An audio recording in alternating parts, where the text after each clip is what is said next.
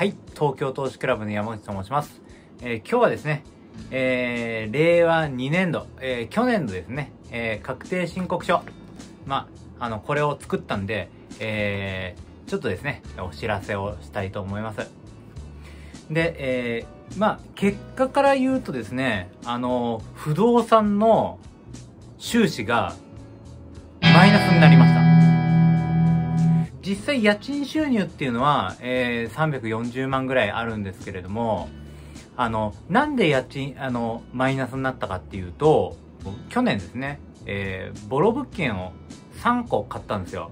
で、そこで結構ボロ物件なんで、まあ物件価格も相当抑えられたんですね。ただ、修繕費を3件とも結構かけたんですよ。まあ、一つ、い、あの、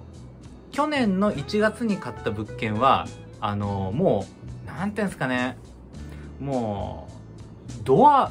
玄関のドアも壊れてましたし、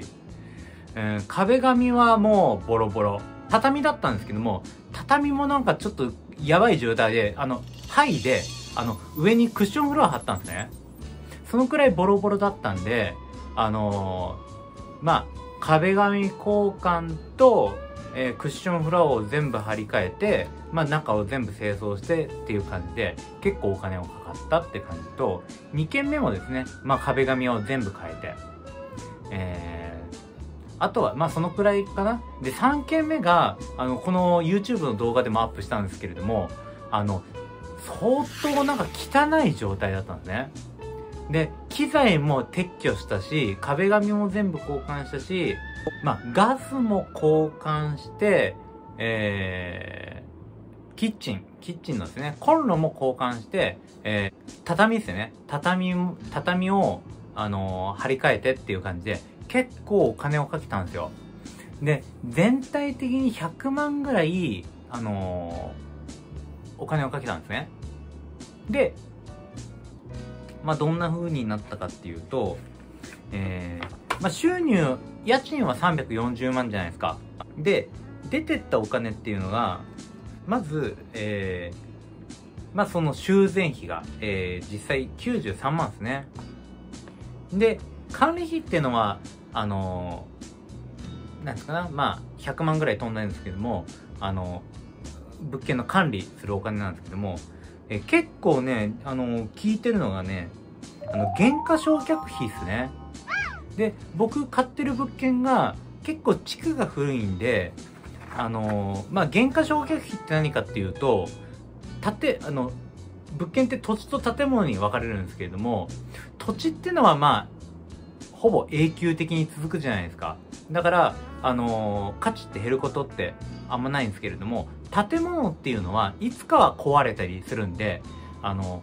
最終的には価値がゼロになるっていう考えなんですね。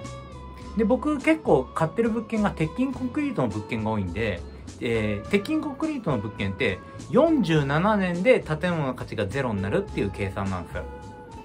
で、あの最終的に買った物件っていうのは、あの、築が41年だったんで、まあ、あの、47年から41年引くと6年。まあ、ただちょっと減価償却の計算があって、6年じゃ計算できないんですよ。まあ、確か15年とかそのくらいだったんですけれども、ただ、あの、まあ、物件の価格の土地値っていうのは大したことなかったんで、あのーそのうち70%ぐらいですね、えー建物の方にすると、まあ、結構な減価償却ってことで、年間ね、あのー減価償却費が80万かかるっていうことで、最終的には、あのーマイナスが25万になったんですよ。ただ、僕、あのーあの、不労所得っていうのが、ふ、あの、不動産の家賃だけじゃなくて、あの、ビジネスの方もあるんで、そのビジネスの方が、えー去年に比べてどのくらいだったかな？去年に比べて、158%? まあ、1.5倍にアップしてるんで、そこの、まあ、あのー利益？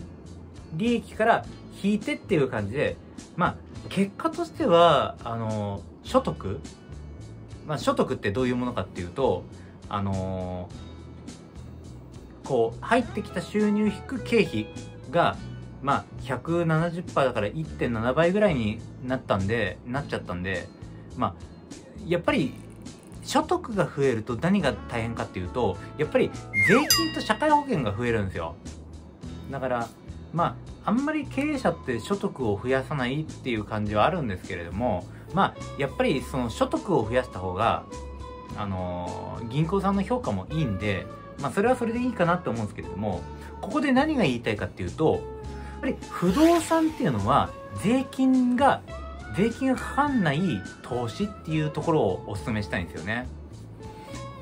やっぱり株とかですと、やっぱ利益の20%かかったりとか、投資したお金っていうのに経費がかかん、経費化できないじゃないですか。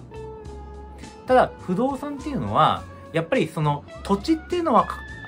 価値が変わんないんで、経費化できないんですけれども、あの、建物の価値っていうのは、どんどんどんどん目減りする減価償却費として、あのー、経費になりますし、あと、あの、かけたリフォーム、特特に僕みたいなボロ物件買ってる人っていうのは、リフォーム代とかね、安く買うんですよ。安く買う代わりにリフォーム代とかかかるんで、そういうのも全部経費化できるんで、投資イコール経費になるんですよ。株っていうのは、利益に対しては、所得税が、ね、あの、税金が20%ぐらいしかかかんないですけれども、ね、買ったお金に対して経費ってなんないじゃないですか。ただ、不動産に関しては、買ったお金が経費になるっていうことで、やっぱり、あのー、まあ、資産を買いながら節税できるっていうところですかね。ただ、節税という言葉に踊らされて、マイナスになるような物件を買ってはダメと思う、ダメ、ダメです。っ